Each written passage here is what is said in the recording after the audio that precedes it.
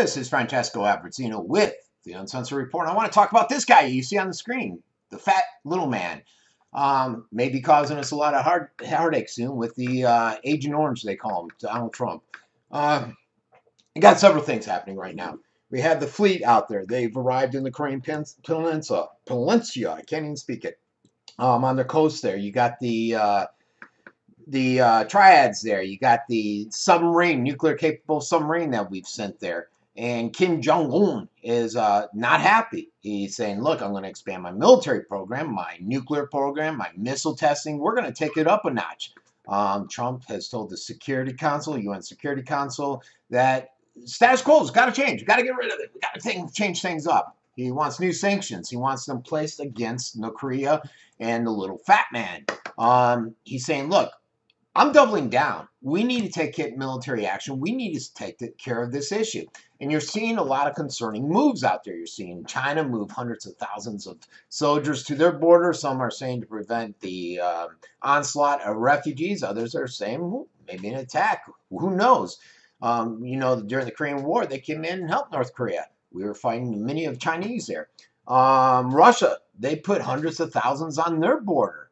Um, concerned about a lot of the efforts going on. You got Japan um, preparing for war. You got South Korea, where Donald Trump says, look, we need a plan to evacuate 230,000 United States um, citizens. You got the administration meeting, which is happening today, today, I think, Wednesday, right?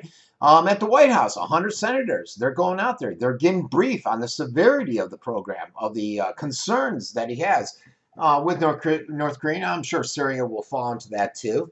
Um, and it's so you got this essential intelligence briefing going on um, about this nuclear threat, the potential nuclear threat, and he's trying to convince congressional members that they may need to declare war on North Korea if he refuses to um, comply uh, with any new or existing sanctions. And like I said, it's really getting concerning. I mean, when you got 150,000 China troops up on that border, I think Russia sent something like 60,000 and maybe more over there. It's just a matter of time before North Korea maybe becomes concerned. Maybe the little fat man gets concerned that he's going to be invaded and he does a preemptive strike.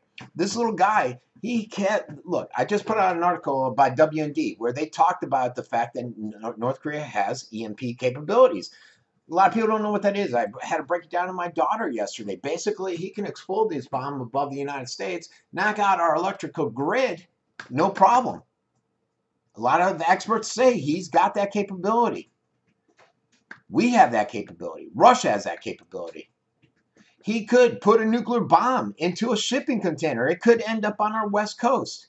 He's got 70 nuclear subs or subs. He could, I'm not sure, but I believe he could put a nuclear bomb on one of those. His uh, his intercontinental ballistic missiles could reach Japan. They could reach South Korea. We got 50,000 soldiers right on that border there of the um, North Korean border. And remember, we're still in a state of war. The, it, it's never been, we never declared an end to the war. It's basically been a peacetime a, a treaty. This North Korea situation, it's a different thing altogether. It's not like uh, dropping the mother of all bombs in Afghanistan and killing 100 ISIS uh, rebels. It's not like going to Syria and doing an airstrike. And I understand that Trump's trying to send a message.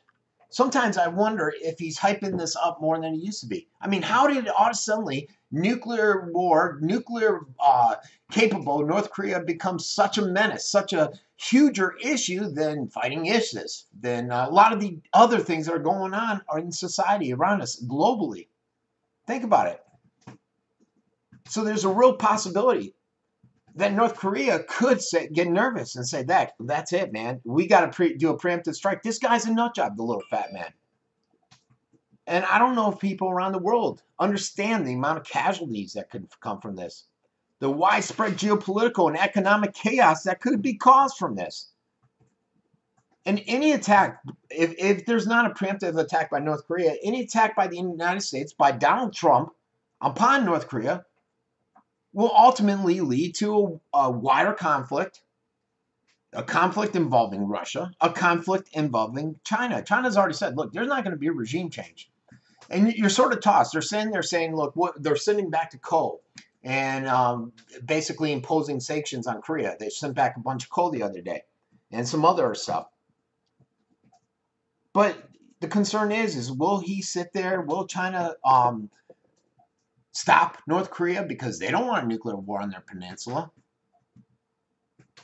If we attack, if North Korea attacks us, where will China be?